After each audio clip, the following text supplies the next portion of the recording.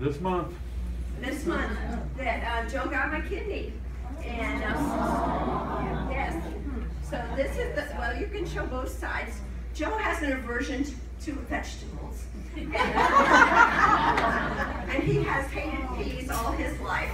He used to stuff them in the, the pull-out part of the dining room table. and he'd find dead peas in there when the guests would come and we had to make the table bigger. So when, when he was 50, I gave him a card with 50 dead peas. So I found every pea fabric I could, I could find and put it in here. Yeah, there's Joe recuperating with his pea shirt and his pea pants. And the, and, and the, the coconuts are shaped like kidneys. And, and he's drinking, it looks like, oh, some wonderful drink, but it's Mountain Dew because that's what my kidney likes and he doesn't listen.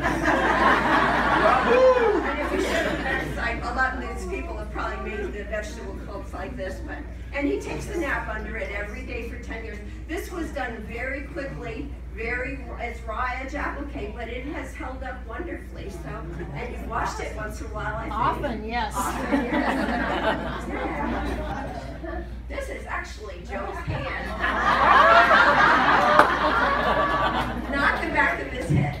And we have, a lot of you would, uh, played uh, bridge with my mom. She died of Alzheimer's some years ago, and, and my dad was so lucky, and he found Edie and married Edie Struslin, and they had 15 years together. But when he died, um, she wanted his ties put in the quilt. So she helped design this one. And it's his favorite quilt.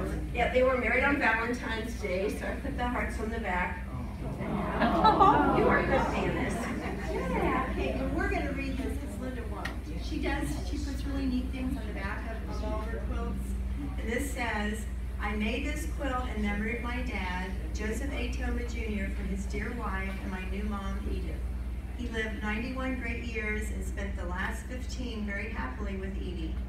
He was a fisherman, crafty card player, jeweler, and a Democrat. the blue Ultrasuede is from Edie's wedding suit, the brown from Dad's suit, and the ties were his, all changed to clip-ons. The, the hearts on the back remember their Valentine's Day wedding.